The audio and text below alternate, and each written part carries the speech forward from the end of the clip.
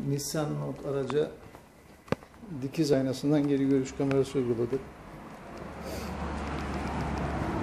Kamerayı orijinalinde yeri olan bagaj kapağının hemen sol köşesine tripod kamera kullandık. Damla kamera gayet güzel orijinal bir görüntü oldu. 4.3 inç ayna kendi orijinal aynasının üzerine geçmedir. Orijinal aynası altta duruyor. Görüntümüz gayet net oldu. Çok canlı bir şekilde arkayı bize ferah geniş bir görüntü verdi. Gayet başarılı bir uygulama oldu. Araç sahibi güle güle.